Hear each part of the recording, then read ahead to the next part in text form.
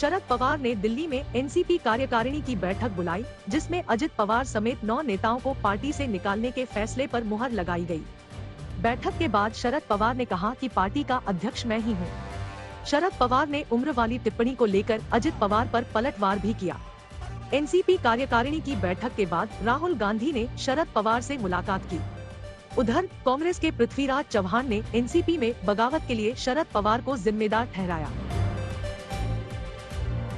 राहुल गांधी और मल्लिकार्जुन खड़गे ने राजस्थान के नेताओं के साथ चार घंटे तक बैठक की। मीटिंग में सचिन पायलट भी मौजूद थे। बैठक के बाद सचिन पायलट बदले बदले नज़र आए। उन्होंने माना कि उनके मुद्दों को पार्टी ने सुलझा दिया है।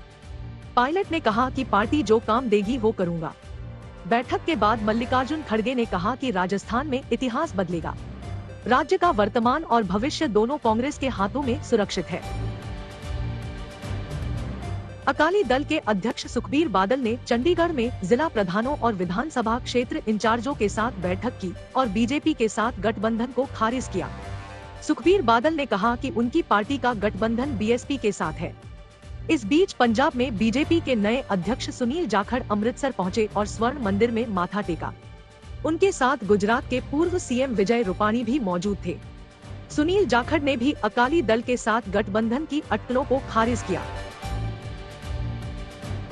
मध्य प्रदेश के सीएम शिवराज सिंह चौहान ने सीधी पेशाब कांड के पीड़ित आदिवासी को अपने निवास पर बुलाकर माफ़ी मांगी। मुख्यमंत्री पीड़ित का हाथ पकड़कर सीएम हाउस के भीतर ले गए। कुर्सी पर बैठाया, पाव धोए, आरती उतारी और तिलक लगाया। शॉल ओढ़ाकर शिवराज ने उसका सम्मान किया। शिवराज सिंह के माफ़ी मांगने के बाद कांग्रेस ने निशाना साधा।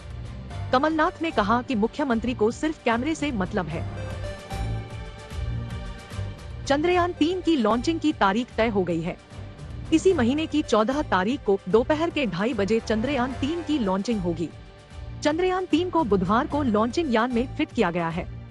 इस मिशन का पूरा बजट छह सौ इक्यावन करोड़ रुपए का है।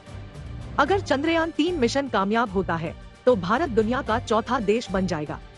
इससे पहले अमेरिका, रूस और चीन चंद्रमा पर अपने स्पेसक्राफ्ट उतार चुके हैं। चंद्रयान तीन में एक रोवर भी है, जो चंद्रमा की धरती पर घूमेगा। दिल्ली में बागेश्वर धाम के पीठाधीश्वर पंडित धीरेन्द्र शास्त्री का कार्यक्रम चल रहा है। तीन दिनों तक चलने वाले कार्यक्रम के पहले दिन हनुमंत कथा का आयोजन किया गया। कार्यक्रम के लिए लोगों की भीड़ उमड़ी है। भक्तों के हुजूम को देखते हुए सुरक्षा के पुख्ता इंतज़ाम किए गए हैं।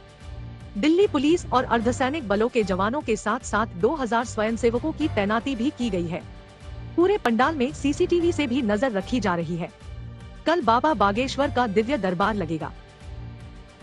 बाबा बर्फानी के दर्शन के लिए भक्तों का सैलाब उमड़ रहा है। पहले पाँच दिनों में करीब सत्तर हज़ार श्रद्धालु पवित्र गुफा तक पहुँचे। उम्मीद की जा रही है कि एक हफ़्ते में भक्तों का आंकड़ा एक लाख पार कर जाएगा। बाबा बर्फानी के दर्शन के लिए देश के अलग अलग राज्यों से लेकर नेपाल तक से भी श्रद्धालु पहुँच रहे हैं। अमरनाथ यात्रा की शुरुआत 1 जुलाई से हुई थी, जो 31 अगस्त तक जारी रहेगी। यात्रा के लिए जम्मू कश्मीर प्रशासन की ओर से खास तैयारियाँ की गई है। सुरक्षा के भी चाक चौबंद इंतज़ाम किए गए हैं।